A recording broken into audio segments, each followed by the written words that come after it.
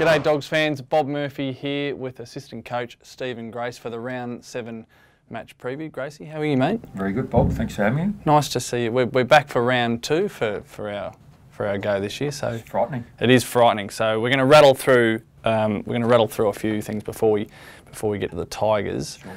What about the areas from improvement from the weekend? So disappointing loss to Freo, but we had a good look at them, didn't we? Yeah, we certainly did, and we, we hung in there for a long period of time. Uh, uh, just some crucial errors at, at uh, periods of time where they fed off and got some energy. You know, Dave Mundy's thrown of the game. Uh, the, you know, their big Anzac Day, so we, we just didn't need to give them a look at crucial times, so they fed off in the last quarter. How big was the momentum shift when Dave Mundy kicked that goal? In the in the last quarter. Yeah, it was incredible because he he'd been serviceful, Dave, you know, yeah. before then, and he had a couple of big moments in that last quarter, and uh, you could feel the energy, um, and then uh, be able to feast off it. Yeah. What what about uh, off the field? We've hit forty thousand members. It's a fair achievement for, for this early in the year. Yeah, it's impressive. It's impressive, and it just shows that the growth um, in the club and the support the players have, uh, and that you know that we are a big club. You know, it doesn't necessarily have to mean numbers every week, but uh, 40,000 is impressive. Now this is you, you, you've got an appreciation for this is my favourite favourite part of the week. This is where we get to the Mercedes-Benz X-Class keys to the game. Now, if we can just sort of eyeball each other, I, am thinking of a number between 1 and 100. We did this before with 1 and 10, but this is a number between 1 and 100. Mm. What do you got? 63.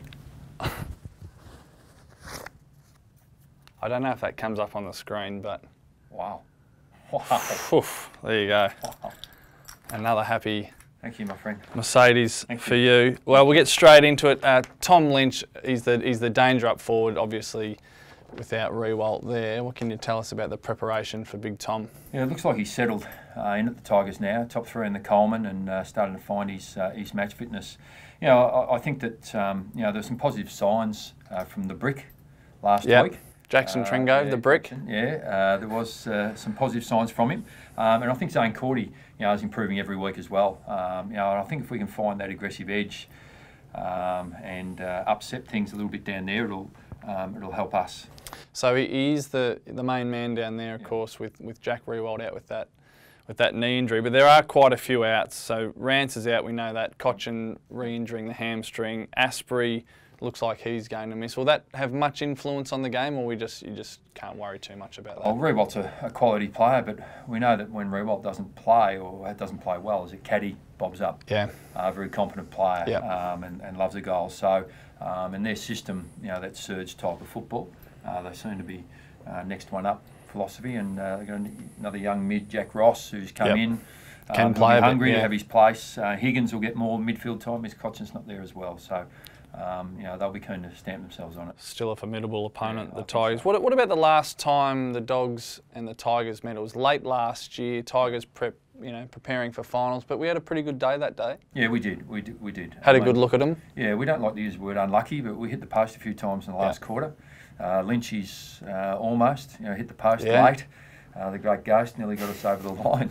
um, but um, I, I, think that if we control the tempo of the game a little bit, uh, like we did last time, um, don't allow them to win as much contest uh, and be able to go back at them. It'll go a long way for us to um, you know, hang in the game for as long as we can. And last one, what about what about Dale Morris? Some positive news there with with his recovery. We see him taking a, a bit of a jog there how much do we put it down to the sheer will of the man and how much do we put it down to the homemade broth? the homemade broth is legendary. I'm sure it's the sponsorship the, deal. The, the mystique and myth, the mythology around Dale yeah, Morris just grows. I think him and his, uh, his franchising abilities later in life. No, he's um, even we just had a meeting then, uh, Bob, and his, his voice uh, being able to act like a rudder uh, for the players and being able to impose his um, not just his knowledge, but um, I, I, suppose it's his longevity in the game and his resilience on, the group with what he says, and that's important to us. Uh, Gracie, mate, thanks for the insight. Thanks for stopping by. Always insightful to, to chat to you. And Dogs fans, get down to Marvel Stadium at 7.20 on Saturday night to see the Dogs get a win on the board against the Tigers.